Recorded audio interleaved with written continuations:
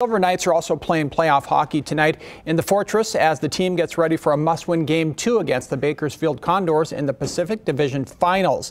And Fox 5 Sports reporter Paloma Villicana is live at T-Mobile Arena. So Paloma, boy, a historic week here in Vegas. You have both the Golden Knights and the Silver Knights playing for a championship at the Fortress. That's amazing.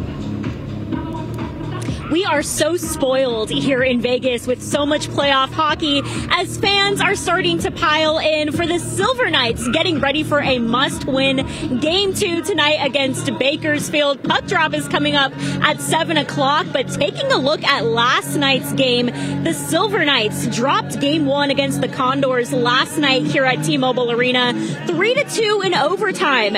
Two beautiful goals from Ben Jones and Pavel Dorofeyev, but Bakersfield's Adam Cracknell ended the game in OT last night as the Condors will be fighting to be crowned Pacific Division champs tonight at 7 o'clock. Here's how the Silver Knights are approaching a must win game two tonight. You, you want to get off to a really good start. We know they've played a lot of hockey here, so I think it's not so much the start as just how you finish. And uh, um, you know, we want to, you know, you want to get on them like any any time is uh, put pressure on them and, and keep them uh, in their own end here. So, um, you know, fatigue certainly will uh, should be a factor uh, for both teams. But it's uh, again when you're playing a, a, scenario like this, it's amazing how how quickly you can find your legs because the adrenaline takes over. And you know, they certainly want to win this tonight tonight, and we want to continue to keep playing on Saturday. So if the Silver Knights do win tonight, they will force a game three here at T-Mobile Arena on Saturday, Saturday night at 7 o'clock. The winner of that game will be crowned the Pacific Division champions.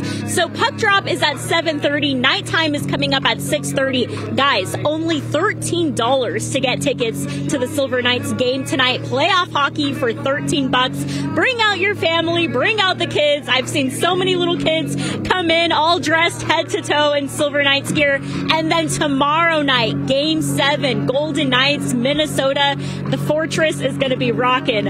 I'll have more on the Silver Knights tonight at 10 on Fox 5. Right. I'm Paloma Villicana, Fox 5 News, local Las Vegas. All right, go Knights, both of them. Paloma, thank you.